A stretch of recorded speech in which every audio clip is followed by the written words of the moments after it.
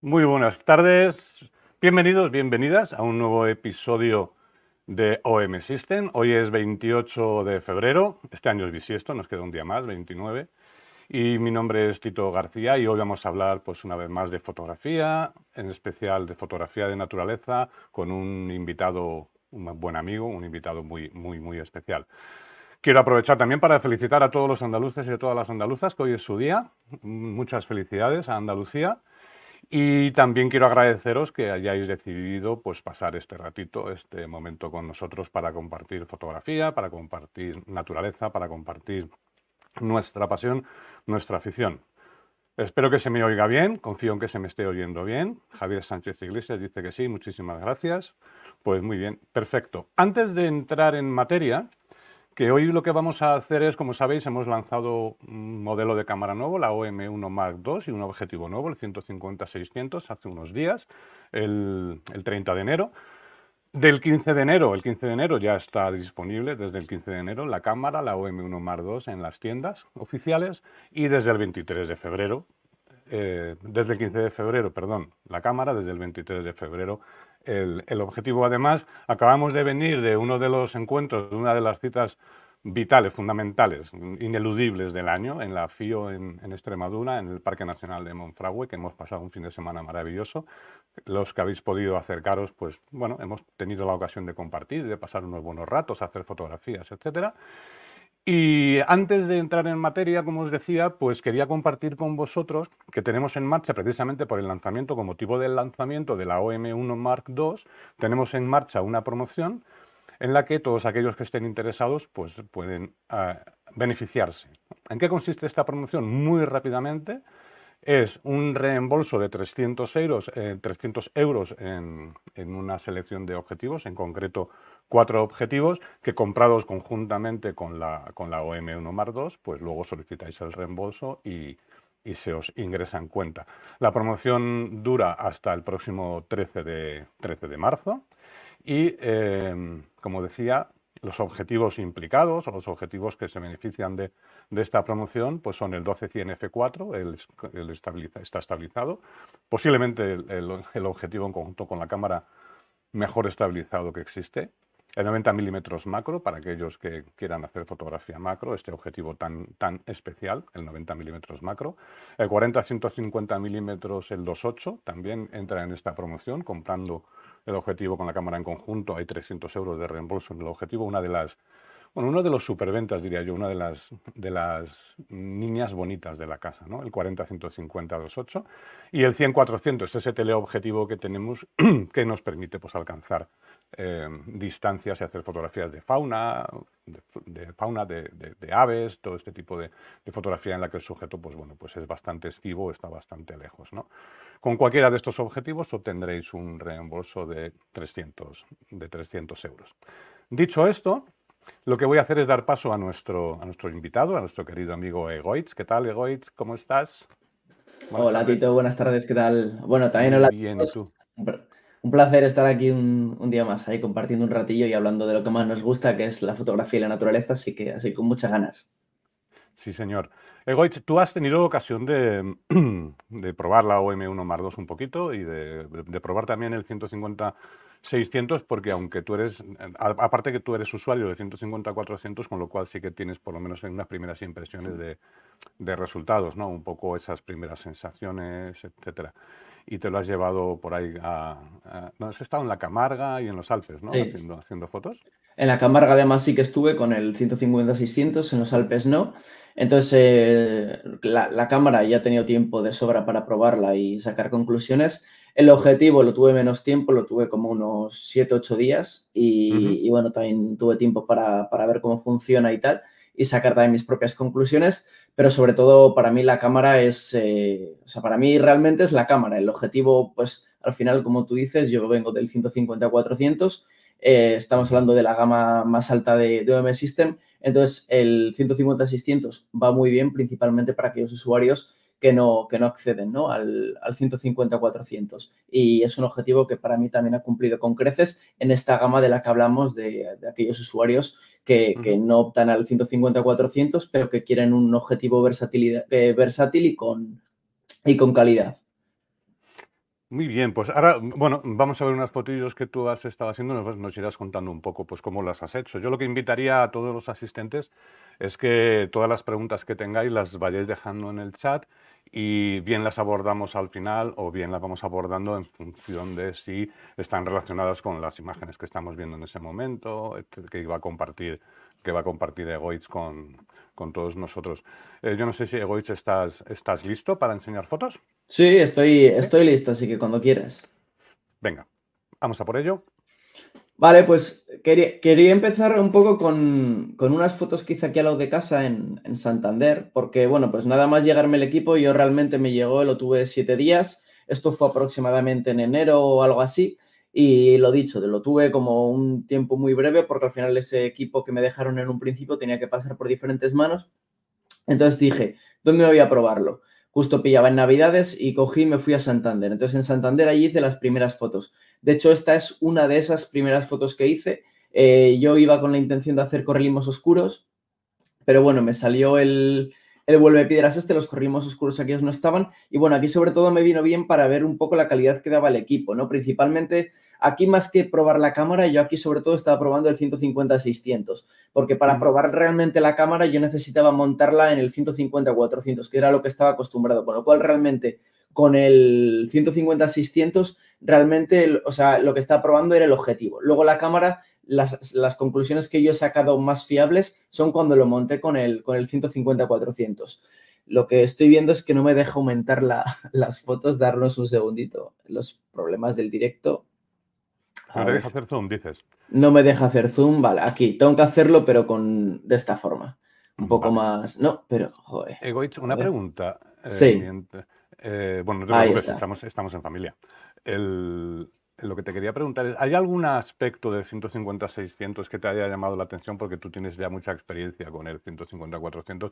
Evidentemente, quizá eh, pues son dos objetivos. No quiero decir que estén en ligas distintas, porque es verdad que el 150-400 es un objetivo más ambicioso y tiene unas prestaciones eh, superiores, por decirlo de alguna manera, pero también esos 200 milímetros.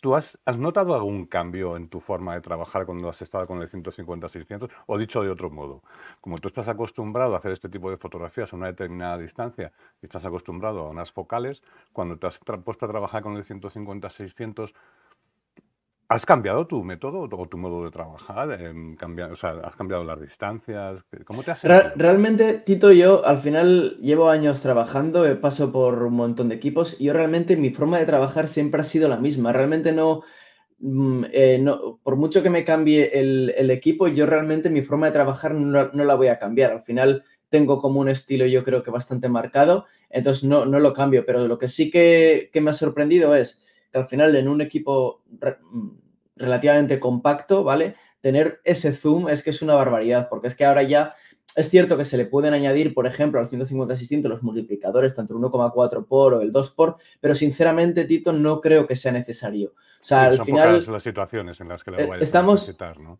Claro, o sea, es, y realmente no es ni siquiera para un bicho que esté lejos. Yo realmente me lo plantearía de otra forma. Yo me lo planteo, pero igual que me lo planteaba con el 100-400 o incluso con el 150-400. Yo no me planteo meter un multiplicador para cuando el bicho está lejos. Yo me lo planteo mm. para de tal forma que el bicho está relativamente cerca, pero te faltan unos milímetros de focal para terminar de hacer la foto que tú quieres. Entonces, para mí, ahí es el momento en el que, en el que meter los multiplicadores externos. Pero aún así es que un 150-600 yo creo que es una focal además que hacía mucha falta porque teníamos pues eso, hasta un 400, pero es que realmente tenemos un 1200 milímetros f6.3 que no existe prácticamente en ningún, en ningún lado. O sea, yo creo que no hay ningún otro objetivo de esas características sin tener que meterle multiplicadores. Entonces, yo creo que aquí hemos marcado un poco la, diferencia, ¿no? Y lo dicho, en un tamaño bastante compacto, con calidad, eh, para mí la calidad es parecida a la que daba el, el 100-400.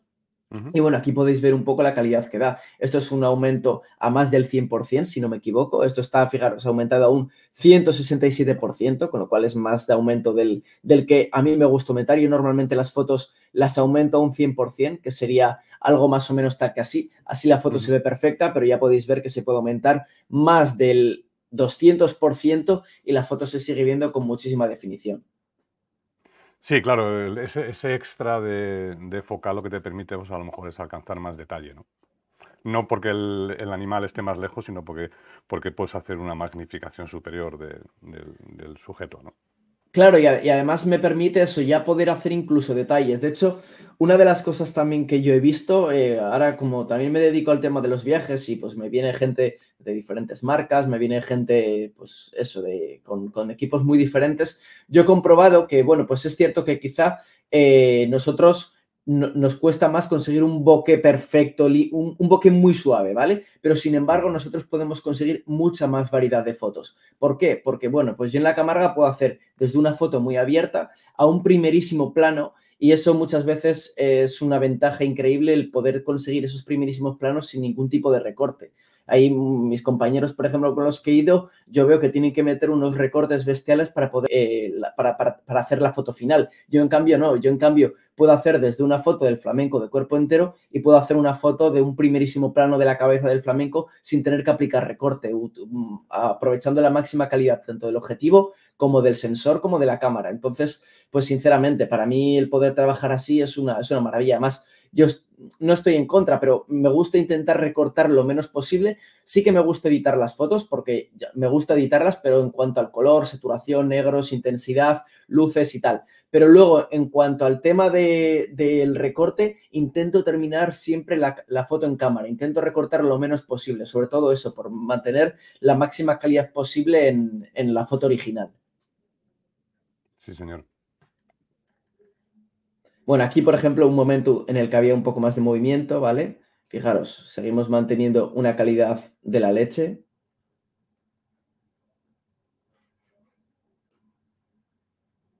A mí, me sorprende bastante. ¿eh? Yo sí que estoy viendo un nivel de detalle al que no estoy acostumbrado. ¿eh? Sí, sí, sí, lo que has comentado es muy importante. De hecho, estas fotos, perdona que te cortecito. De hecho, estas fotos están a la altura de la calidad del 150-400. Yo aquí te pongo esta foto y te pongo una del 150-400 y no hay diferencia. Yo donde sí mm. que he notado un poquitín más de la diferencia entre estos dos objetivos es cuando la luz es un poco más escasa. Pero cuando la luz es, es buena, la nitidez del 150-400 y el 150-600 podríamos decir que es similar. Son bastante equivalentes. Y de hecho, fijaros, aquí por ejemplo un punto a favor de la cámara, como han mejorado también la, el enfoque al ojo de los, de los sujetos, fijaros, en esta situación en la que el piedras ya está de espaldas, está de culo, para mí no es la foto bonita porque el bicho está de culo, pero es una forma de comprobar que, bueno, pues que la cámara hayan metido chicha y han hecho que, que, que rinda mejor en condiciones más complicadas, donde el foco lo tiene más difícil, ¿no? En este caso el piedras no se le ve claramente la cara, pero sin embargo tiene una definición en el ojo bestial, ya veréis. Y bueno, ya os digo, estoy aumentando eh. más de, más de lo que debiera aumentarse, ¿eh? pero...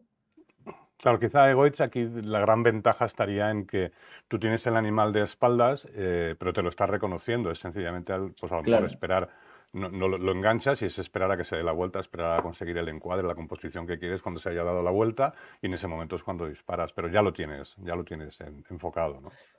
Exacto, y además, y, y, por y, muchas veces igual el animal no se da la vuelta, porque al final estamos trabajando con fauna salvaje que no, no siempre se van a dar las condiciones. Bueno, pues en este caso, porque es un, vuelve, un vuelve piedras y puede volver otro día, pero imaginaros que este bicho, pues yo qué sé, es otro animal que es raro, que lo que sea, entonces pues joder, el, aunque el animal no esté mirando, que puedas congelar y enfocarlo, pues eso para mí es una, es una gozada.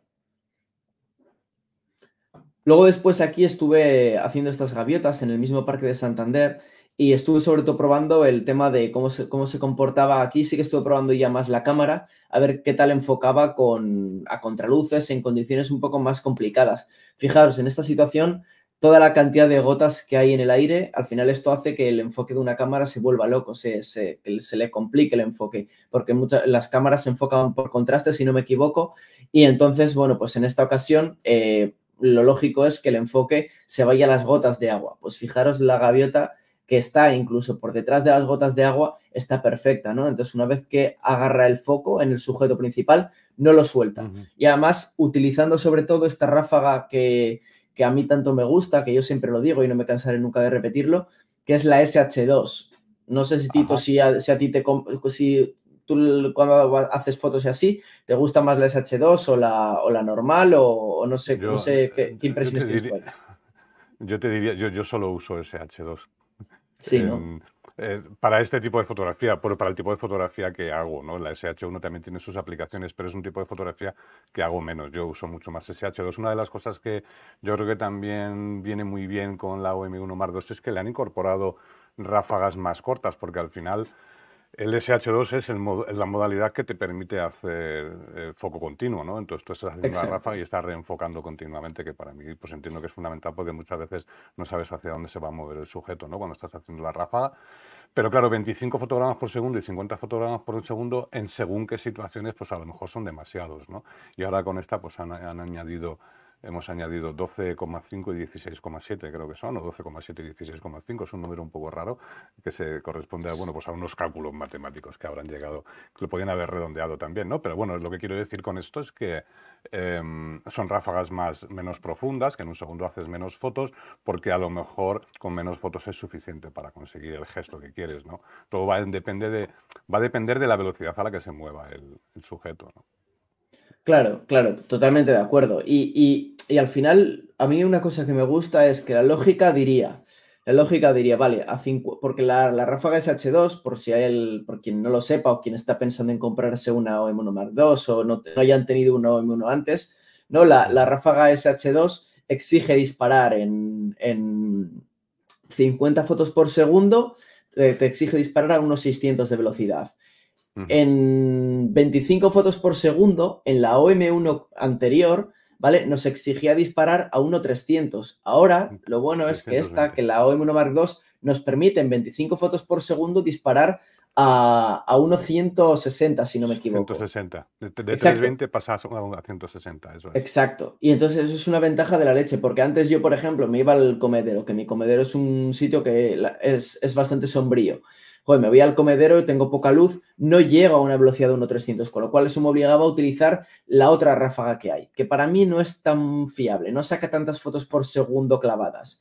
Entonces, el poder utilizar ahora en mm, condiciones de luz más escasas la SH2, para mí eso es una bomba. Con lo cual, mm, la gente dice, eh, quizá no hay tantas mejoras. pues esto para mí es una mejora bestial. O sea, para mí esto, es, esto marca la diferencia. Yo prácticamente solo por esto casi daría el salto de una OM1 a una OM1 Mark II, porque es que marca la diferencia de poder sacar más fotos nítidas por segundo eh, de, tener una cámara a tener otra. Porque lo he comprobado y la ráfaga normal y la ráfaga SH2 hay una diferencia bestial.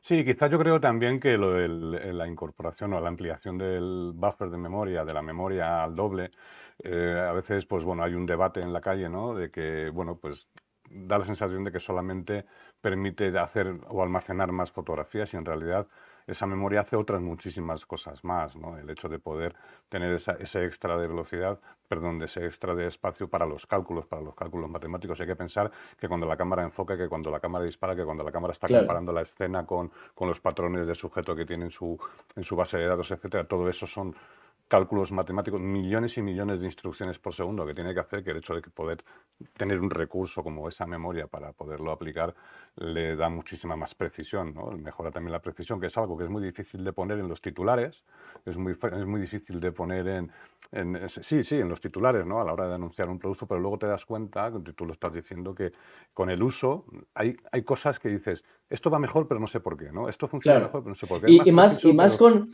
y más Tito con usuarios como yo, que yo realmente no soy un usuario técnico. O sea, a mí me da igual que, la, que el, sensor de la cámara sea de no sé qué, de no sé cuál. O sea, a mí, mientras la cámara funcione bien y, me, y, me, y, responda a lo que yo necesito en cada momento. De hecho, mira, ahora que hablabas del tema del buffer, yo, por ejemplo, yo no sé qué almacenamiento, cuánto lo han aumentado o cómo lo han cambiado. pero yo, pero yo sí, mm. Pero, pues el doble. Pues yo sinceramente, sin saber que, lo han aumentado al doble, yo lo que he, comprobado es que en todas las fotos que he hecho, tanto en los Alpes como en la Camarga, como en cualquier sitio, en ningún momento me he quedado tirado. En ningún momento me he quedado sin poder disparar y eso en cambio con la OM1 alguna vez sí que me ha pasado. Yo me acuerdo que estando en Castilla-La Mancha trabajando, en haciendo sesiones de hidrohide, yo recuerdo meter una tarjeta no tan buena y quedarme más tirado que, pues, y ahora con esa misma tarjeta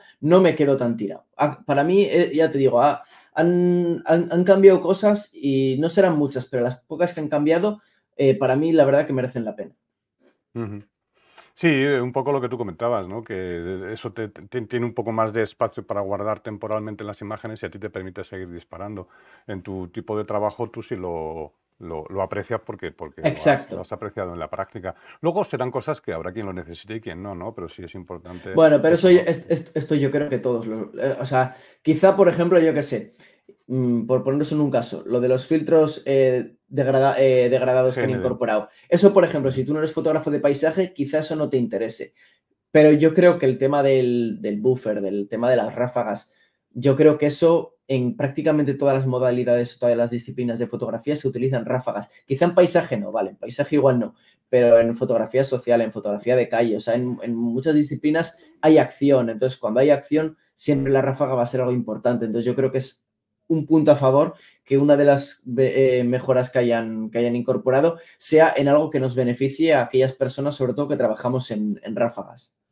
Bueno, el GND, el filtro degradado de densidad neutra, tú eres fotógrafo de fauna de vida salvaje, fundamentalmente, macro, etcétera. Quizá no te caracterizas por el paisaje, este es un filtro más asociado al paisaje, pero bueno, ya nos contarás cuando lo pruebes porque tú tienes una manera también de trabajar que estás como loco por probar el GND para... Sí, y de hecho todavía no lo he podido probar. Ahora un poco más adelante cuento cuál es mi idea. No lo he podido probar todavía porque en los Alpes sobre todo estuve haciendo fotos en clave alta y con la clave alta no, no va bien, pero bueno, ahora un poco más adelante os cuento cuál es mi idea eh, que tengo en la cabeza para, probar el... Porque mi idea es probarlo de otra forma totalmente distinta que no sea en fotografía de paisaje y lo que pasa es que necesito hacer una clave baja para ello. Pero bueno, ahora un poco más adelante entramos en, en materia. Bueno, pues eh, en, nuestro viaje a la Camarga, uno de los primeros, de lo, os, voy a contar un poco cómo es un viaje en la Camarga y cómo es un viaje en los Alpes probando eh, la, la, OM1 Mark II. Vamos a ver un montón de fotos, no sé si veremos todas porque he metido demasiadas, pero bueno, veremos unas pocas y para que también entendáis qué he utilizado en cada momento, cómo, ¿vale? Entonces, lo primero que nos encontramos en, en, la Camarga son las grullas, ¿vale? Porque antes de entrar al parque, el parque abre a las 8, con lo cual justo este momento en el que el cielo se pone rojito es un poquitín antes del amanecer. Entonces, lo que hacíamos era nos levantábamos pronto, antes de las 8 estábamos en un puesto, en un sitio al pie de una carretera por donde pasaban todas las grullas volando y bueno, pues los cielos se ponen espectaculares. Entonces, aquí en esta, en esta escena, al final, lo que me viene bien a mí es tener pues, eh, la OEM Mark II con un, en este caso, si no me equivoco, esto es 150-400, a ver, exacto, esto es 150-400 a 250 milímetros, ¿vale? Porque al final me interesa coger un poco todas las estelas esas de los aviones.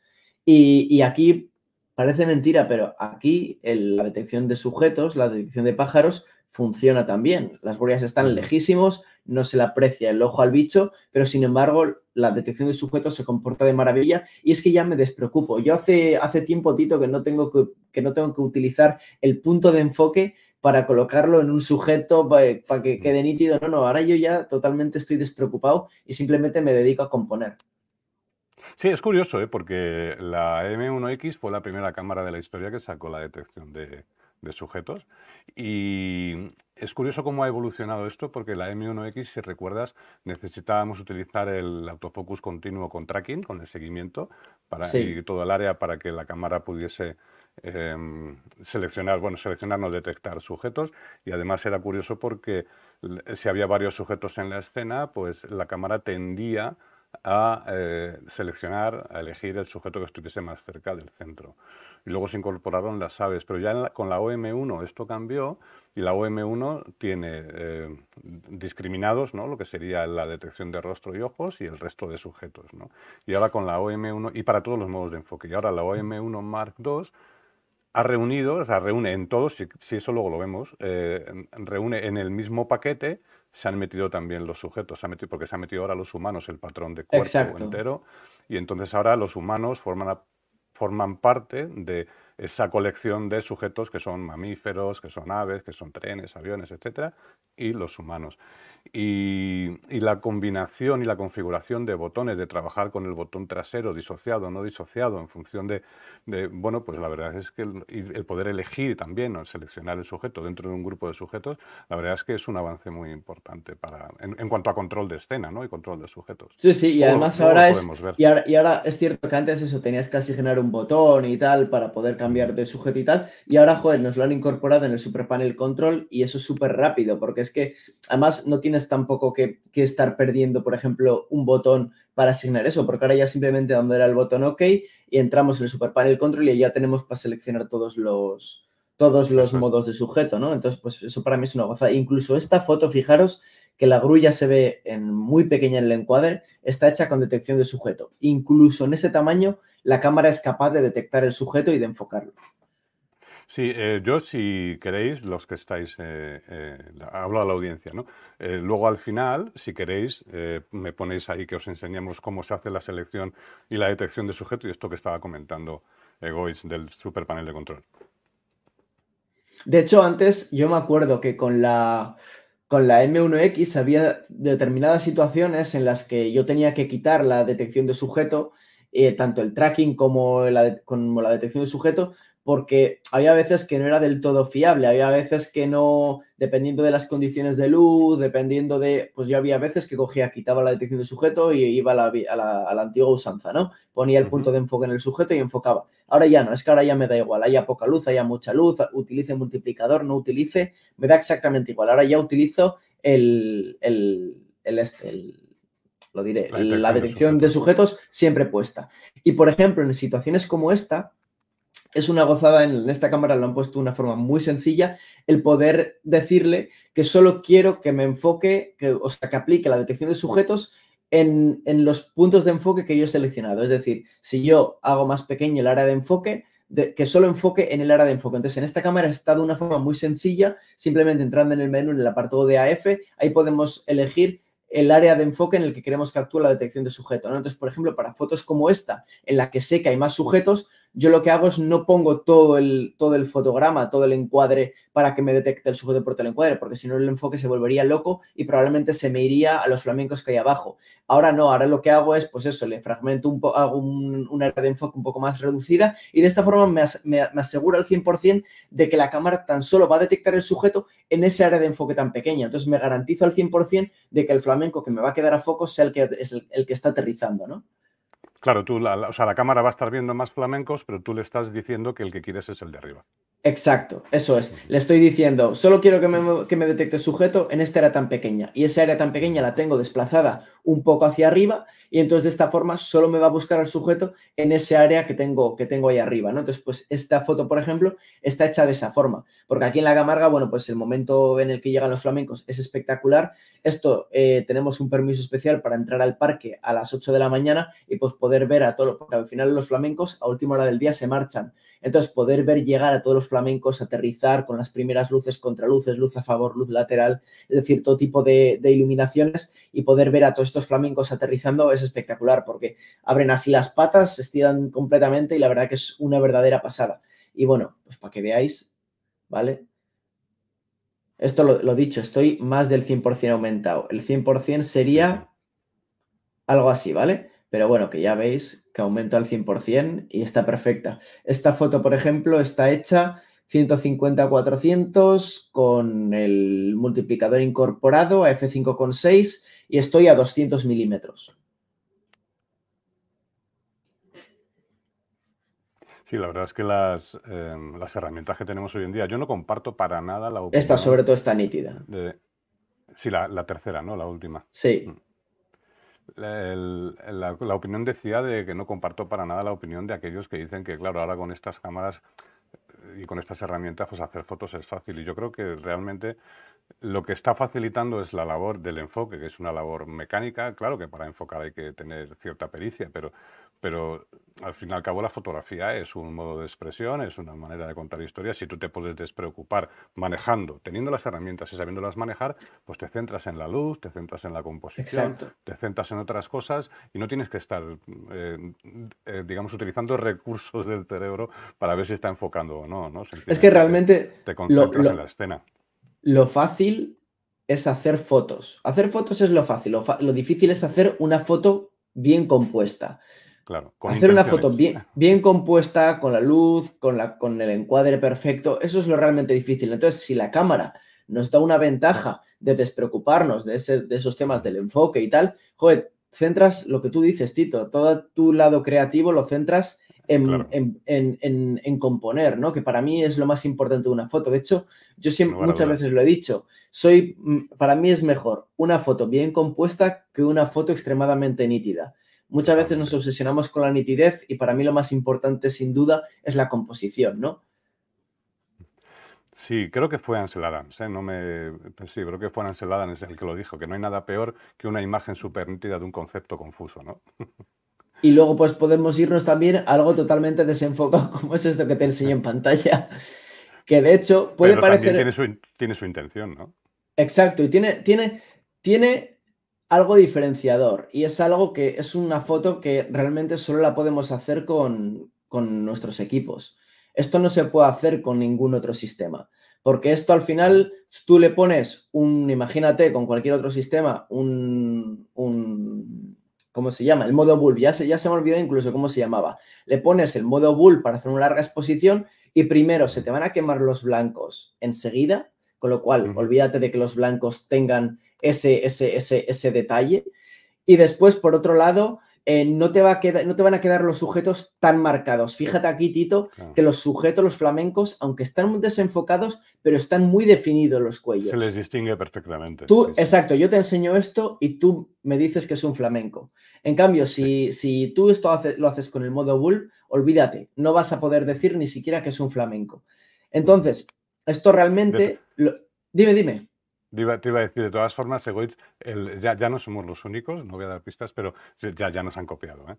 Bueno, pero, nos, ya nos han copiado. El modo Live Composite no es exclusivo ya, sí que fuimos los pioneros, pero lo digo porque es que si no, luego nos corren a gorrazos. Vale, bueno, pues ya, es que realmente yo no, no, no, es que me, me, da igual lo que saquen los demás. Yo con lo que, con lo que me saqué vosotros, Tito, para mí es suficiente. Pero, pero bueno, que aunque, aunque, aunque no seamos los únicos, bueno, pues esto realmente al final es un light composite, pero no es la forma tradicional de utilizar el light composite. Siempre se ha dicho que al final es un modo que es para paisaje, tal. No, en este caso lo estoy utilizando como si fuera una exposición múltiple. Porque al final un light composite es una exposición múltiple si, lo miramos eh, detenidamente. Sí, sí, es un apilado de imágenes. Exacto, es un apilado, una exposición múltiple. Entonces, si yo esos primeros 0,5 segundos estoy completamente quieto y una vez que han pasado esos primeros 0,5 segundos ya me empiezo a mover, yo en esos primeros 0,5 segundos he congelado flamencos, que son los que están quietos. Y después, en los siguientes 0,5, 0,5, 0,5, así, de forma indefinida, ya todos los demás quedan movidos porque yo le estoy dando un movimiento a la cámara. Con lo cual, en esa, solo está congelada esa primera toma de 0,5 segundos. El resto están movidas. Por eso se ven flamencos nítidos y flamencos desenfocados. Entonces, pues el tener el composite, que ya lo teníamos en la OM1 y en la OM1X, pero bueno, que si, eh, si, lo seguimos teniendo en esta cámara, pues es un punto más que nos va a seguir permitiendo ser creativos y hacer todo tipo de, imágenes, ¿no? Sin lugar a dudas. Sí, de, hecho, también eh, aquí porque la luz la aportan las alas, digamos, es un animal muy claro, etcétera, pero luego eh, en la naturaleza. Se pueden hacer muchísimos trabajos de composición utilizando tanto luz natural como luz artificial continua. Tú las estelas las utilizas muchísimo.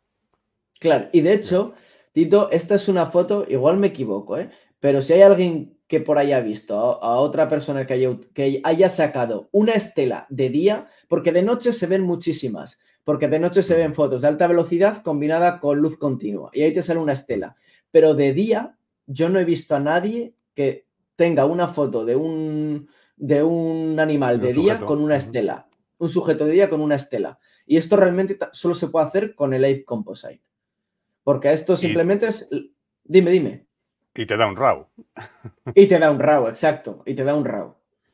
Y esto realmente lo que es es lo mismo que antes. Yo estoy esos primeros 0,5 segundos quieto y después lo que hago es un paneo con la cámara. Y al hacer ese paneo con la cámara, me sale la estela del flamenco. ¿vale? Entonces yo lo que sí que tengo que hacer es moverme en la dirección adecuada, ¿vale? Porque si me muevo en la, en la, dirección que no es adecuada, la estela al flamenco le saldría por delante y no quedaría natural. Lo que tiene que salir es la estela por detrás del flamenco para que quede completamente natural la imagen. Sí, señor. Después el tema de la estabilización, bueno, pues eh, realmente, a ver, esta, esta, foto y la siguiente las hice a conciencia para ver, a ver si se notaba mejoría en la estabilización o no. Y la verdad que solo lo he probado en esta ocasión, no, no he utilizado mucho la estabilización, pero bueno, para que veáis, esto por ejemplo es el 150-600, ¿vale? Con la OM1 Mark II está a 300 milímetros y f7,1 y a una velocidad de un quinto de segundo a pulso. Y bueno, pues como veis, está clavado. La, mejora en la estabilización es medio paso en, el cuerpo de cámara con respecto a, la OM1. Y también hay un cierto debate en la calle de que mm, por medio paso, que tampoco es para sacar mucho pecho, ¿no? Y, y, sí es para sacar pecho, y mucho además, porque no es lo mismo eh, no es lo mismo mejorar medio paso de estabilización cuando tú tienes un paso de estabilización o dos que, cuando ya que cuando ya tienes ocho. No es lo mismo mejorar medio paso o un paso de estabilización cuando tú puedes disparar, por ejemplo, con un objetivo angular. Si tú eres capaz de disparar estabilizando, me pongo, por ejemplo, un objetivo de 50 milímetros, que te estabilice dos pasos, pues te permite hacer fotografías a un 25 de segundo. Claro, de disparar un 25 de segundo a un 12 de segundo es un paso, pero cuando tú ya estás estabilizando y puedes hacer fotografías de 4 y 5 segundos, medio paso son dos segundos más. Es una auténtica barbaridad. Sí, sí. Hombre, con, con, un teleobjetivo es complicado llegar a los segundos, porque estamos hablando de focal y, de, y de peso. Pero, pero es que es una barbaridad, Tito, poder, poder tirar a, un quinto a pulso con el 150-600 a 300 milímetros es una salvajada. Quizá a 600 milímetros que igual hay que tirar a un octavo, me da igual, a un octavo tiro. Claro, no, pero es, exacto lo que tú dices del teleobjetivo. Si tú tienes un 500 milímetros que tú puedas disparar y esto es un poco así la asociación que se hace, ¿no? Que con un 500 milímetros tienes que disparar un 500 de segundo, que tú puedes disparar un a un 250 es porque te permite estabilizar un paso. Claro, eso quiere decir que si tienes ocho pasos, puedes hacer fotografías de un cuarto de segundo, claro, claro. un octavo de segundo. eso es una auténtica barbaridad. Sí, sí. Además que es que realmente ponía 300, pero que realmente es un 600. Por si alguien todavía no sabe que las cámaras de OM System multiplican por dos, pues eso, que, realmente era un a 600 milímetros. 600 milímetros a un, cuarto, a un quinto que era, a un, un, quinto, es que es una barbaridad. Y fijaros, esta es, por ejemplo, con el 150-600 a 167 milímetros, es decir, a unos 300 milímetros y pico más o menos aún no partió a 0,5 segundos. Ahí está estabilizando 7 pasos. Y esta está todavía más nítida que la anterior. Hmm. Y lo, que os digo, está más aumentado de lo normal, ¿eh? porque esto a mí ya te digo, me gusta aumentar al 100%, más del 100% ya entraría como en, foto ya distorsionada, ¿no? Pero, pero hasta, el 100% es que se ve perfecta, vamos, esto te da para hacer una ampliación de la leche. Después, luego, Tito, si, quieres enseñar ahora lo de, la, lo de la selección de sujeto, no sé por si, por si porque, por ejemplo, en estas fotos, ¿vale? Que vais a ver a continuación, ¿vale? Que hay varios sujetos. Pues bueno, pues aquí a, mí lo que me interesa es que el sujeto que esté a foco es el que está delante, no ese que está ahí atrás en el último plano. Entonces, a mí me interesa sobre todo que esté el de delante a foco. Entonces, pues en esta cámara le han incorporado eso, ¿no? El poder elegir de todos los sujetos que tengo delante cuál de ellos quiero enfocar. Entonces, para eso lo mejor que es que lo veáis de una forma gráfica y que lo veáis con el, con la, con el este, con, un con, unos amigos que tenemos, con unos amigos que tenemos aquí. Con, unos amigos que tiene Tito ahí en su, en su habitación y lo vais a ver mucho más claro. Sí, bueno, básicamente lo que Goiz estaba eh, comentando es que ahora en la OM1 Mark II tenemos en el superpanel de control, aquí tenemos todos los sujetos y aquí han incorporado, un segundito que voy a quitar los nombres porque mi nombre está tapando la, pantalla. Vale, ahora sí. Entonces, lo que comentaba, que em, en el superpanel de control, eh, si yo entro en el superpanel de control, aquí tenemos los humanos. Antes teníamos un área específica para los rostros y ahora tenemos aquí humanos, tenemos coches, etcétera, y tenemos mamíferos. Bueno, aquí yo, como no tengo animales Es la hostia, ¿eh? ¿Cómo, ¿Cómo, pasas al mamífero y los, y los detecta al, momento? ¿eh? Pones un pájaro y no detecta nada. Eh, Pones un mamífero y, al momento. Al perro y al oso, sí. sí, exacto.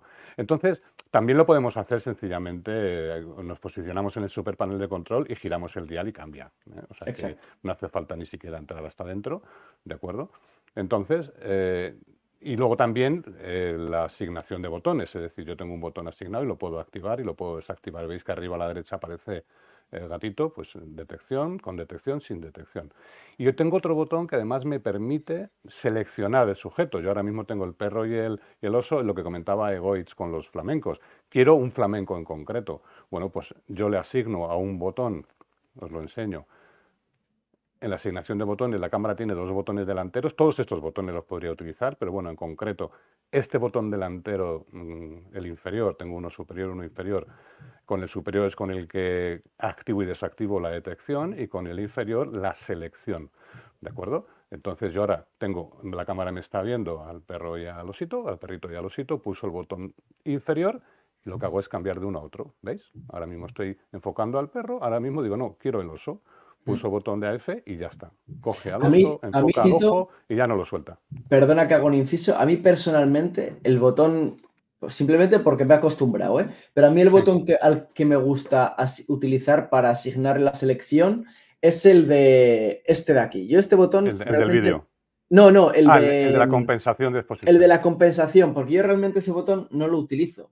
Entonces, a mí personalmente me gusta utilizar ese botón porque también me queda el dedo muy cerca del, no sé, me queda en la parte de arriba el botón, el, el dedo, ¿sabes? No, me, resulta más cómodo pulsar ahí y luego tener que pulsar el dial que no, ¿sabes? No sé, me, simplemente... Sí, pero al final, exacto, es, es, una cuestión también de hábitos, ¿no? Porque...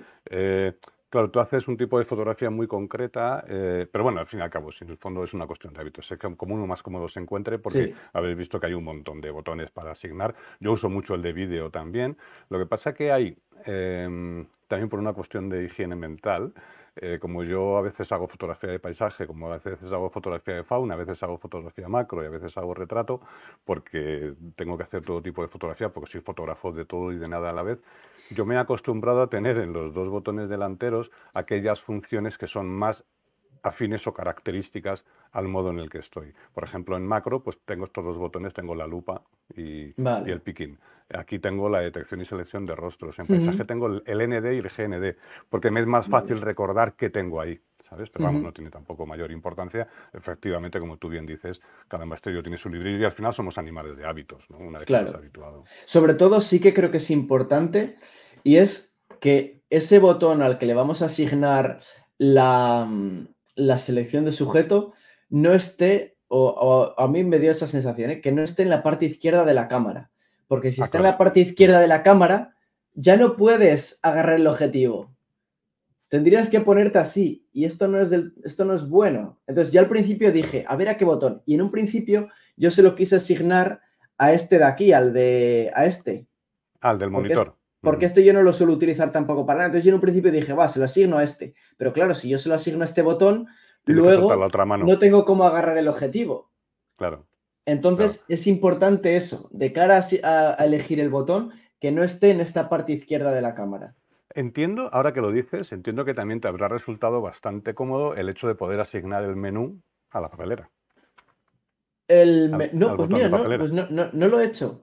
Esa boca no lo he hecho. No, no, Pues está muy bien porque, mm, claro, ahora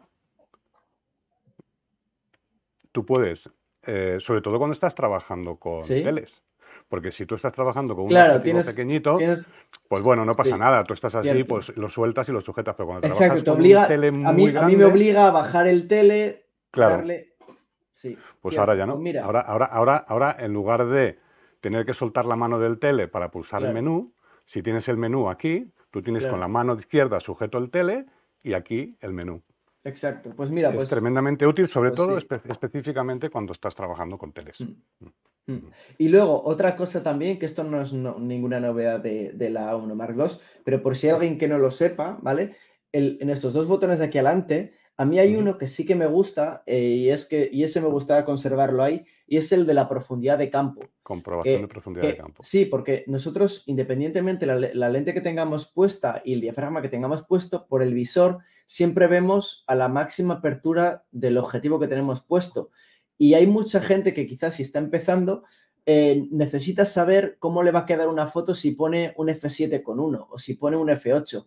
Entonces, poder pulsar un botón y que te diga, que, que veas por el visor cómo se ve la foto a ese determinado diafragma que tú tienes puesto, para mí es una gozada. Entonces, yo si tuviera que modificar uno de esos dos botones de delante, no modificaría el en el que viene la profundidad de campo, porque a mí me parece algo interesante. Sí, y hay un, hay un, bueno, un consejo, un truco que es brutal en esto que acabas de decir, y es además em, activar el picking por medio de un botón. Porque cuando tú pulsas, eh, cuando tú estás con el picking activado, tú estás viendo la profundidad de campo y el focus picking, el, colorcito que tengas seleccionado, lo estás viendo a máxima apertura. Pero si pulsas el botón de comprobación de campo que tú estás diciendo, vas a ver mucho más picking, vas a ver realmente el focus picking en todo el área de donde hay profundidad de campo. O sea, en toda la profundidad de campo es, es tremendamente útil, sí, sí. Sí. Vale. Bueno, pues seguimos viendo fotitos. Seguimos viendo fotitos. A ver. Epa, epa, epa, que me voy.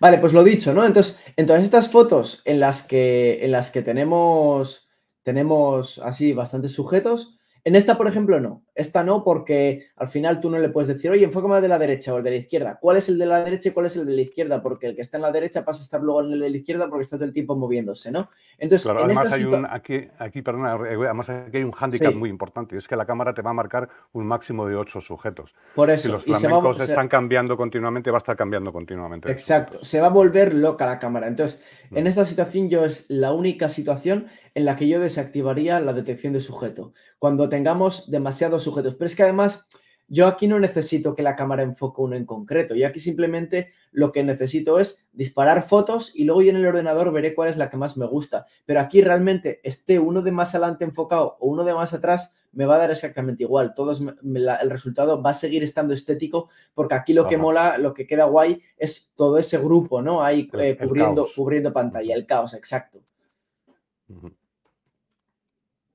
Aquí lo mismo, ¿no? En esta situación igual. Y yo de hecho muchas veces en estas escenas en las que tenemos tantos, tantos sujetos a la vez y que puede ser un caos enfocar, yo incluso si quiero enfocar un ejemplar en concreto, lo que hago es cojo y pongo enfoque manual. Me pongo con enfoque manual y enfoco al sujeto que más me apetezca. Es, va a ser mucho más fiable. Te pones enfoque manual con el picking y enfocas al que más te interese. Claro, hay tantas maneras de, de discriminar los modos de enfoque o de utilizar las herramientas, porque también puedes, como hacíamos con la detección de rostros o como hacemos con la detección de rostros en la OM1, que podemos utilizar el botón de disparo pulsando a medias para que enfoque en el área que tengamos seleccionada y el trasero para la detección de sujeto. Y no tenemos que andar activando y desactivando la detección de sujeto. Lo que pasa es que tú, en este caso, como trabajas siempre con el, enfoque disociado, tú el botón de disparo lo tienes inhabilitado para enfocar.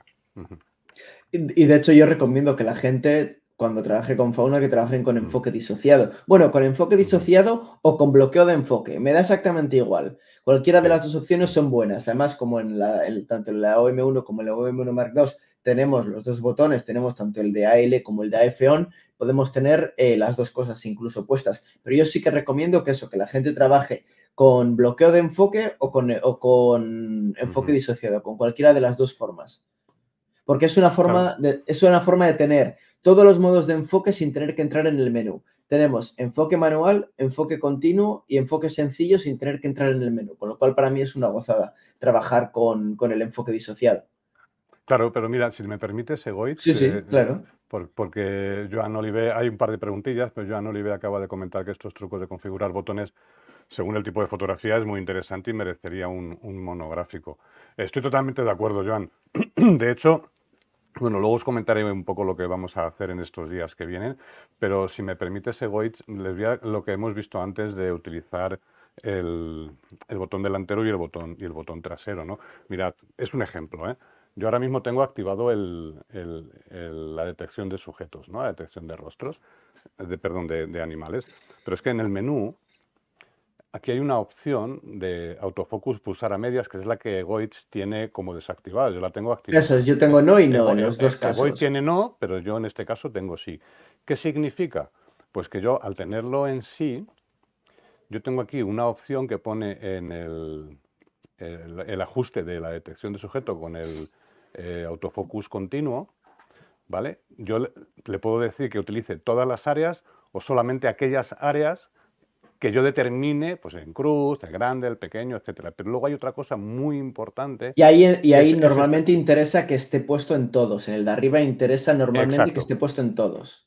Eh, perdona, estamos hablando aquí. Exacto, que estén todos. Pero luego en el tema del botón, si tenemos el botón delantero habilitado para que enfoque a medias, yo le puedo decir aquí, este es el botón delantero y este es el botón trasero, ¿no? el de AF On. En el botón delantero yo le puedo decir enfoca al área de enfoque, es decir, al área que yo decida, y con el trasero, que le, o sea, que le dé aquí la prioridad al área de enfoque y en el trasero que le dé la prioridad al sujeto. Eso es. ¿Cómo se comporta? Pues bueno, si yo activo, ¿veis? Activo el gatito aquí y tengo el perro y el osito. Yo puedo, como he dicho antes, seleccionar eh, uno de los dos. Pero yo tengo el área de enfoque aquí abajo, ¿veis? En el, en el objetivo de la cámara. Si yo enfoco con el botón delantero, enfoca abajo a la cámara. Mm. Si enfoco con el botón trasero, enfoca a los, va a enfocar al perrito o al osito. Botón trasero, osito. Botón delantero, cámara. Mm. Y eso es Mm, bueno, como todo, ¿no? Antes Egoich y yo hablábamos de que... Para mí, para mí eso, para mí eso ahora eh, me resulta complicado porque no estoy acostumbrado, pero es, como... Yo, yo, me, yo me pongo también en el lugar de una persona que no tiene el enfoque disociado y de repente lo disocia, me pasa, yo creo que le pasaría lo mismo, le, resultaría complicado disociar. A mí ahora me resulta complicado esa forma de trabajar porque no estoy acostumbrado, pero me parece una bomba poder, poder utilizarlo así tendrías que desaprender. Exacto, tendría que desaprender. Pero no, pero me parece una bomba poder trabajar así. Poder tener un botón para enfocar en el área de, en el que tú quieras del encuadre y luego tener otro botón para, la selección de sujeto, me parece una bomba. O sea. Claro, en, este caso, por ejemplo, que tienes muy claramente enfocado a ese, a ese flamenco, tú podrías llevarte el área de enfoque a ese flamenco y enfocar con el botón delantero. Exacto. Y seguirle, claro, ahí. Sí, exacto. O sea, bueno, son quizá hay varios caminos para llegar a, para llegar a la, misma solución, ¿no? O al mismo resultado o resultado parecido.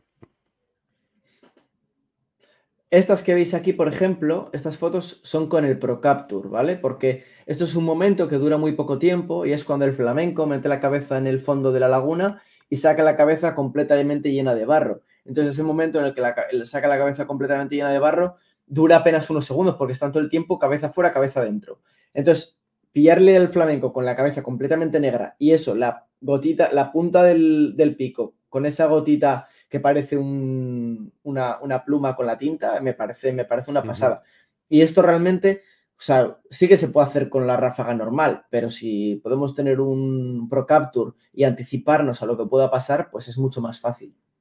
Claro, limitas la ráfaga al momento concreto de, la gotita. No, Exacto.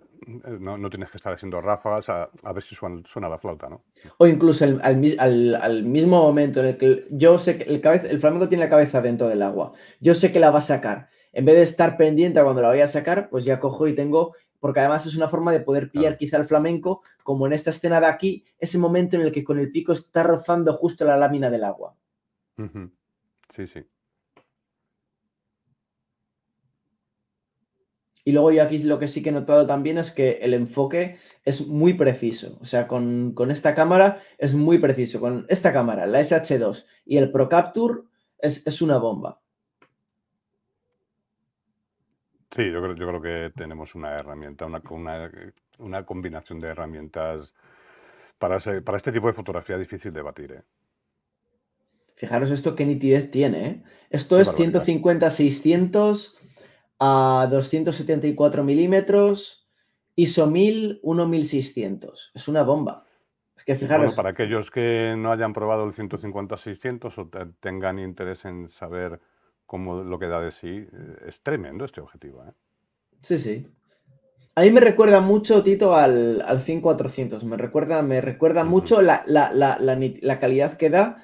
Eh, y lo que pasa es que he mejorado, obviamente, porque son, son 200 milímetros más y, con la misma calidad, entonces pues es una bomba. Bueno, voy a pasar un poco rápido que quiero enseñar algunas de Alpes. No sé cómo vamos de tiempo. Bueno, oh. eh, tú eres el dueño del tiempo. Llevamos oh. casi una hora, llevamos 57 minutos. O si hay preguntas, las podemos lanzar cuando queráis, ¿eh? Sí, bueno, preguntas hay muy poquitas, está, están muy tranquilos, pero por ejemplo tengo una de José Ignacio Gil que dice, hola, ¿por fin el 150-600 combina la estabilización con la cámara como los Pro o no? Sí, sí, el 150-600 es un objetivo sincronizado, es, eh, cumple con el estándar eh, Sync IS, Sync IS, que es la estabilización sincronizada. Y no es Pro por dos razones fundamentales, porque tiene todo lo que tienen los objetivos Pro, pero no está certificado IP53, está certificado IPX1, como lo estaban antes, por ejemplo, la M1X, etcétera, que no quiere decir que esté peor sellado. Bueno, no se sabe, sencillamente no le han dado el carnet, que digo yo, ¿no? Eh, es IPX1 y los otros son, IPX, son IP53. Y la otra cosa que no tiene es que no dispara 50 fotogramas por segundo, sino que tiene un máximo de 25. Por lo demás, es, y tú, y, una cosa que no hemos comentado, Tito, y es que tú coges el 150-600 y dices, mm. hostia, esto no es un cacho plástico, me refiero. No, no. O sea, lo coges y tiene una presencia muy diferente a lo que yo por lo menos había visto, no en la gama Pro, fuera de la gama Pro.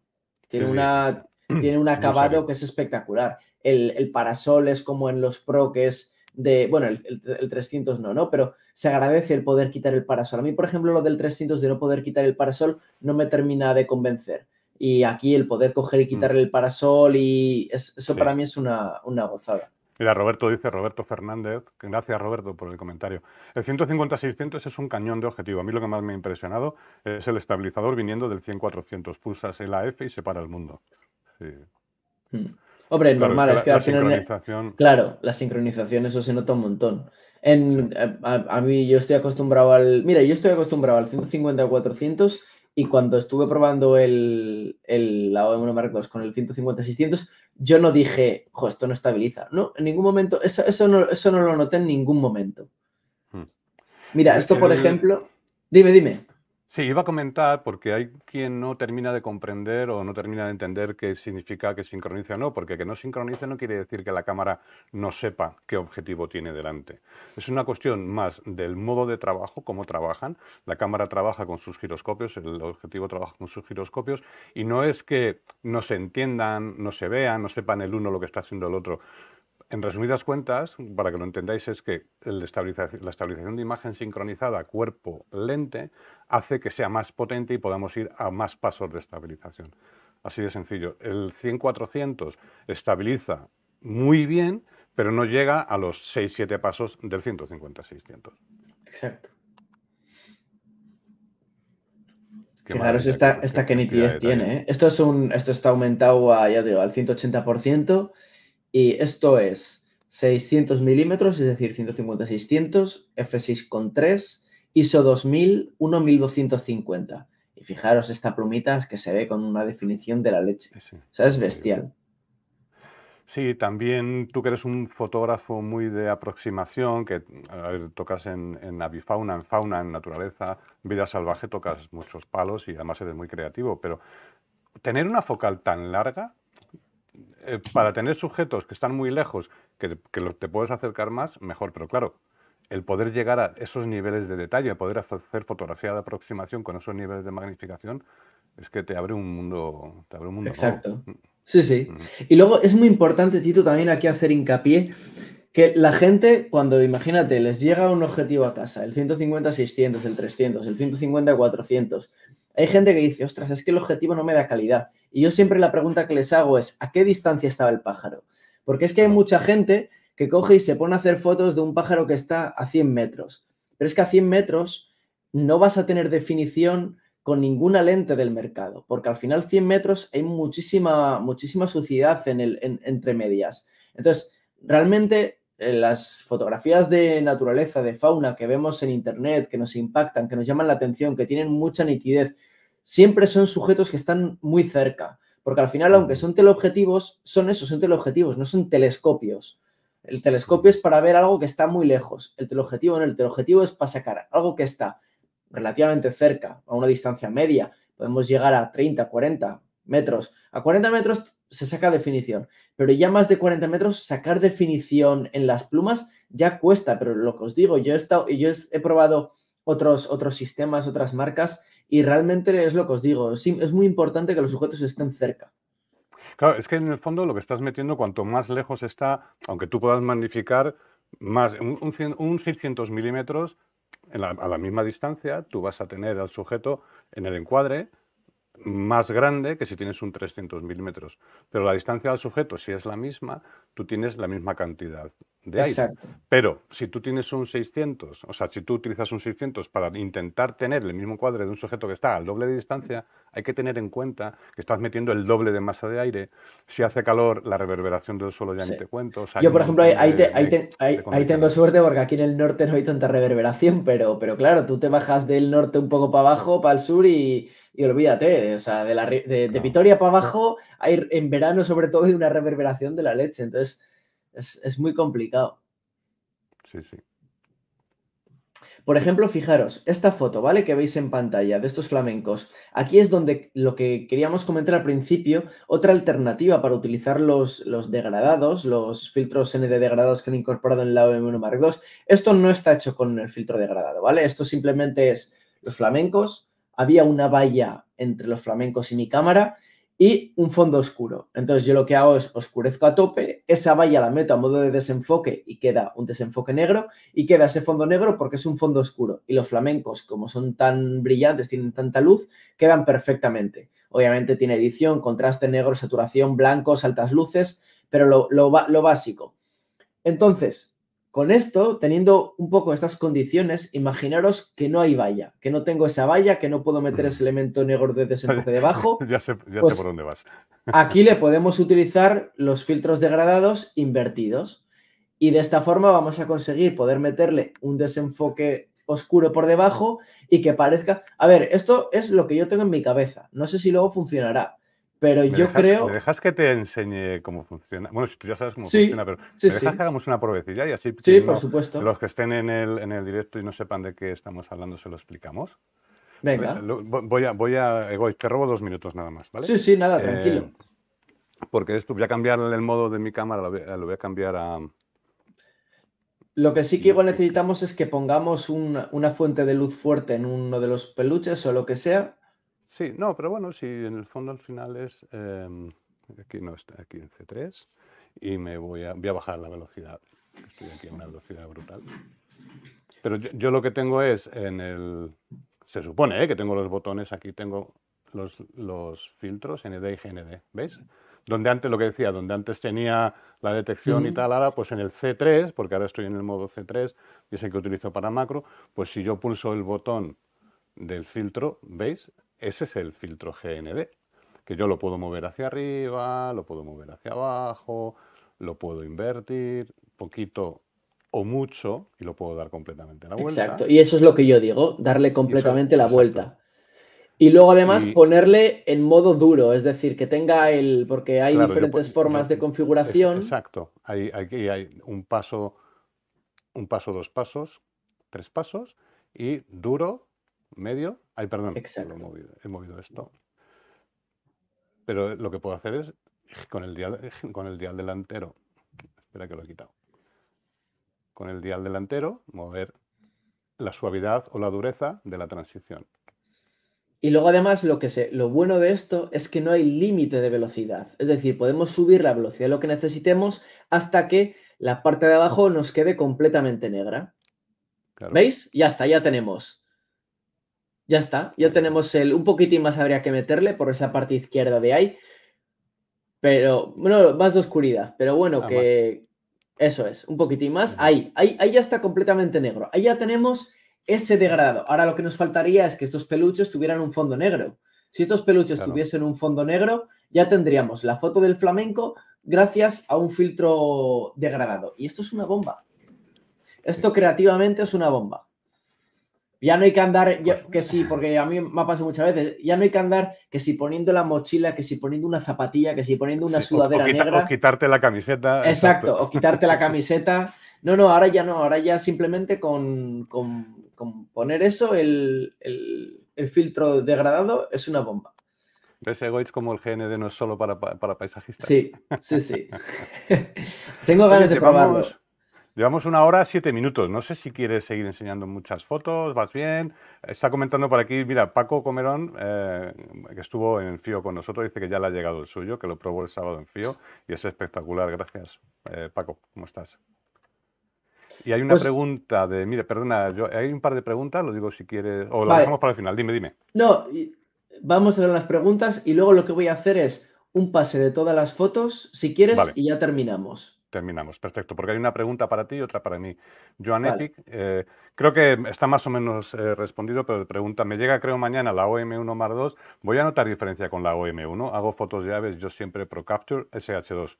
Joan Epic, que es un, muy, muy similar a su perfil al tuyo, ¿no? Sí, pues a ver, lo que, lo que hemos comentado un poco hasta ahora, eh, las, las, pequeñas, los pequeños cambios que hay son una bomba, o sea, lo de la SH2, el tema de la estabilización, eh, el tema de la selección de sujeto. Em, no sé si. Eh, ahora no se me viene. Sí, eso, básicamente, esos tres cambios principales, los GND. O sea, solo con esas cuatro cosas ya te merece la pena, ya la vas a disfrutar, ya te va a dar, fíjate esto, por ejemplo, esto que hemos visto ahora, ¿no? Lo lo de meterle el filtro degradado por debajo. O sea, solo con estos pequeños cambios ya vas a tener ahí para jugar y para divertirte. son cosas con que, pues, que en la OM1 no las teníamos y pues que te van a ayudar en tu día a día como fotógrafo, ¿no? Claro, yo creo que luego además hay otras cosas que son más difíciles de explicar, que son menos tangibles, como es el tema de la precisión, la velocidad y la precisión de enfoque, o eso que comentaba Ego, del ratio de imágenes enfocadas. Eh, en una ráfaga, ¿no? que ahora pues, se encuentra más fotos enfocadas porque es más fiable el enfoque y eso al fin y al cabo es también consecuencia de, pues, del hardware porque permite tener el doble de memoria, pues permite pues, que la cámara pueda hacer cálculos más rápidos y le permite pues, reaccionar con más, con más celeridad, con más velocidad y, y, tarda menos tiempo en una ráfaga. Si pierde el enfoque, tarda menos tiempo en recuperarlo, por ejemplo. ¿no? Esto sería así a grandes rasgos. Y por aquí pregunta Herman Fonollá.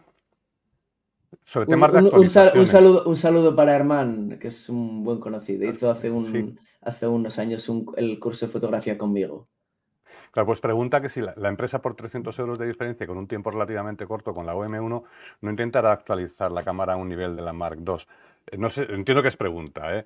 Y ya hay un anuncio oficial. Oficialmente la, marca ya se, ha, ya se ha pronunciado y para otoño habrá eh, actualizaciones de firmware, porque esto no es pulsar un botón, pero sí que está previsto eh, hacer actualizaciones de firmware y como una OM1 Mark II no va a ser porque hay una parte que lo condiciona que es el hardware, que es el buffer de memoria, ¿no? la memoria.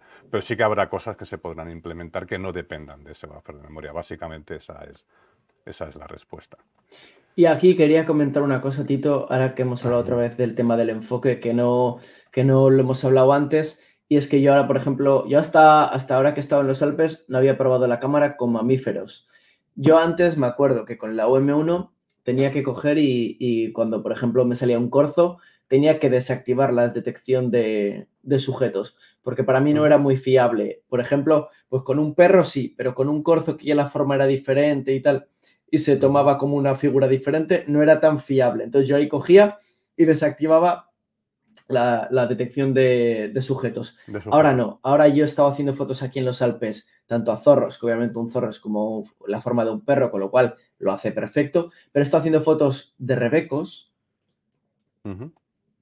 A ver, de rebecos y de íbices. A ver, un momento que está cargando. ¿Vale? Y estas fotos están hechas con detección de sujeto de perros y gatos, de mamíferos en general, y las clava perfectamente. Es una bomba como trabaja. Sí, hablamos de perros y gatos o caninos y felinos, pero en realidad es, no, está tan, tan restringida la, selección de sujetos. Claro, mamíferos hay muchos. Si decimos mamíferos tendríamos que fijaros, las, ballenas y las ballenas no. mira qué nitidez tiene desde, desde desde el principio hasta el final. Y de hecho aquí también es una de las cosas, por un lado, pues quizás nos puede costar en ciertas situaciones conseguir ese boque tan suave, pero por otro lado, pues en situaciones como esta, yo consigo que de principio a fin del Rebeco a F4,5 me quede todo completamente a foco, desde la primera ramita hasta la cola. Entonces, pues esto es una gozada. Claro. hay un par de preguntas, eh, una de ellas es de, Javier Nade. Hola Javier, ¿qué tal? ¿Cómo estás? ¿Cómo copiar la configuración de una cámara a otra? ¿Se podría copiar de la 1 a la Mark II? No. No, en, la aplicación y en Workspace son dos modelos diferentes y no se permite copiar configuraciones de una cámara a otra, aunque sean pocas las diferencias, pero son suficientes como para que no se puedan copiar los C1, C2, C3, C4 de la OM1 a la OM1 Mark II. No, no es posible. De todas formas, puede coger la OM1 y la OM1 Mark II, el menú es muy parecido, es prácticamente mm. idéntico y puede copiar los ajustes. Yo así me he configurado la, la OM1 Mark II, apoyándome en el menú de la OM1 y las, las cosas que, van cambiando del menú, pues bueno, pues coges y, las, las pones eh, un poco, pues eso, haciendo caso a este tipo de directos o el, no sé si Tito tú tienes alguno en el que expliques un poco más de la configuración de la OM1 Mark II, no sé si hay alguno, alguno de ese estilo. Aún no, como hicimos con la M1 Mark III, la M1X, eh, no, todavía no, con la OM1 Mar 2 todavía no. Lo que sí que voy a hacer en, estos, en estas fechas que vienen, de hecho, para, lo iba a decir después, pero la semana que viene, el día 6 de marzo, tenemos un, directo, haremos un directo que no está todavía publicado sobre, sobre teleobjetivos, hablaré un poco de teleobjetivos y un poco intentar eh, entender o intentar responder a vuestras dudas sobre qué teleobjetivo, qué diferencias hay entre unos y otros, entre todos los que hay en, los microzuico. Y luego el día 7, que es el jueves 7 de marzo, será la primera sesión de Zoom. Yo hasta ahora las estoy haciendo de OM1, de OM5, cosas temáticas, y ahora ya fundiré en una sesión de Zoom OM1 y OM1 más 2. Entonces, esto nos permitirá hablar del superpanel de control de los menús y de configuraciones de las dos cámaras, porque a efectos de menú y de configuración, la OM1 más 2 no son muchísimas cosas las que hay que añadir. Pero Javier Nade yo creo que se refiere a si se puede copiar cargar, tú te guardas en el móvil la configuración C1, C2, C3, C4 y si eso, luego lo puedes volcar a la OM1 Mar 2 y eso es lo que digo yo que no es, no es posible. Automáticamente no se puede hacer. Eh, David Feijó también pregunta, ¿el filtro se puede mover directamente en la pantalla trasera? Ahora es táctil moverse entre las pestañas de menú, escribir el copyright. Sí, sí, sí, o sea, tú el filtro GND lo puedes mover con diales, flechas, etcétera, pero también sobre la pantalla puedes, puedes, puedes manipularlo sin ningún problema. Sí, y tienes diferentes eh, grados de movilidad. Ahí con una ruleta se mueve más a golpes más fuertes y tienes otra que va como más, más suave para que puedas poner la inclinación que tú quieras exactamente como tú quieras. Sí, incluso puedes cambiar el punto de anclaje, que yo esto, esto no lo he enseñado, pero os lo enseño nada muy rápidamente. Vuelvo otra vez aquí. Y yo puedo mover el punto de anclaje, veis que el punto está en el centro, yo lo puedo desplazar a la izquierda y cuando giro las ruletas, pivota sobre eso. Exacto. Si me, voy a la derecha, pivota al revés. ¿Veis? O sea que. Sí, sí. Pues no hay más preguntas, señoría. Vale, pues nada, voy a termino de enseñar las fotos que hoy las voy pasando así y, y, nada. Estas, por ejemplo, mirad, vuelos, vuelos no había enseñado muchos, pero bueno, ya veis que estas las de los Alpes hay uno que me llama mucho la atención que es el quebrantón, el quebrantón sobre población. No sé si la tienes aquí. Eh, sí, sí, sí la tengo. A ver. Esta. Esta. Esto, bueno, esto, simplemente por, ubicar un poco a la gente, esto es un viaje que he hecho ahora hace poco llevando un grupo a, Italia, a los Alpes. He ido tanto a Italia como a Suiza, esto de hecho es Suiza. y, bueno, pues es un viaje en el que hacemos la fauna más emblemática de los Alpes y, pues eso, principalmente zorros, rebecos, íbices, quebrantahuesos, chovas, acento alpino, gorrión alpino. Eh, bueno, un poco pues todo ese tipo de, fauna y lo, guay de este destino es el, hacer la fauna ambientada en, en, esos paisajes tan espectaculares como son, como son los Alpes. Este, por ejemplo, es el famoso Mont Blanc y bueno, pues es, es, una maravilla. Visualmente es un destino que es, que es alucinante.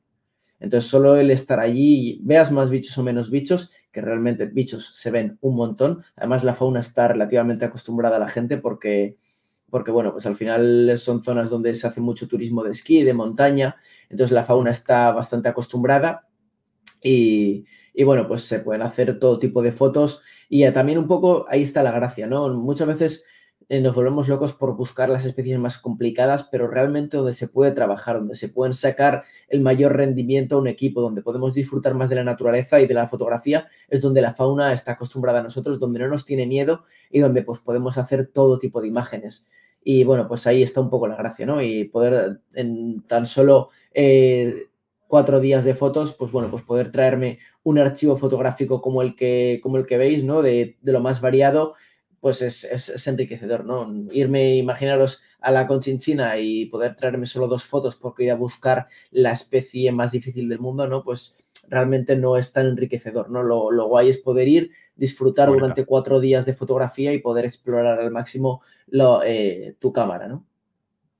Sí, señor, no, desde luego te ha dado juego, ¿eh? Sí que hay muchas especies, además muchas, eh, digamos, muchos modos de fotografiar, ¿no? Fíjate qué pedazo de retratos, animales en su entorno, acción, retrato, desenfoque, claves altas. Has hecho de todo, ¿eh? Te has, quedado, te has quedado a gusto. Me he quedado muy a gusto. Y con esto, Tito, yo creo que por mí está, está todo, todo ok, así que Sí, perfecto. La verdad es que ha sido una sesión preciosa con una fotografía maravillosa. Te agradezco muchísimo, eh, pues eso, que nos hayas acercado un poco a estas primeras impresiones tuyas con la OM1 Mar 2 y ya hablaremos cuando rodemos más, pero eh, con la OM1 Mar 2 y un poco con el 150-600, aunque tú con tu 150-400 que llevas soldado a la cámara, ¿no? lo llevo soldado menos cuando se lo lleva mi padre.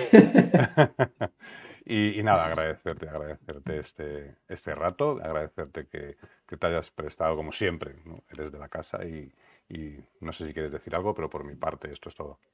Sí, nada, pues como siempre un placer, con, ya sabes, con ganas de, más, que a mí siempre me gusta echar un rato de charleta con, contigo, con, con, Tony, con quien sea y con, bueno, pues con la gente que sobre todo pues agradece, ¿no? Que, que echen aquí un rato con nosotros, sobre todo pues eso, para, porque realmente se ve ahí cuando está la gente ahí detrás que realmente están interesados en, conocer tanto de la cámara como de mi trabajo, como de, ver lo que tienes tú que contarles, que también siempre es enriquecedor, Tito, estar escuchándote porque al final de yo sabré quizá de bichos y de hacer fotos de un bicho, pero tú realmente las cámaras te la conoces, vamos, como, como, si, como si fueran tus hijas. y, de algún modo lo son, sí. Sí, ¿no? De algún modo lo son. Y, bueno, pues es una gozada como siempre y nada, muchas gracias. Gracias, Egoy. Pues nada, gracias a todos y entre todos aprendemos, entre todos disfrutamos y nos vemos en la próxima. La semana que viene, directo el miércoles y luego que publicaremos el calendario de, de, marzo y haremos sesiones de formación para todos los que estéis interesados en conocer un poquito más a fondo el equipo, las cámaras, los objetivos o algún tipo de disciplina. Eh, lo publicaremos en breve. Muchísimas gracias, un abrazo muy fuerte. Gracias a todos, chao. Chao. Bye.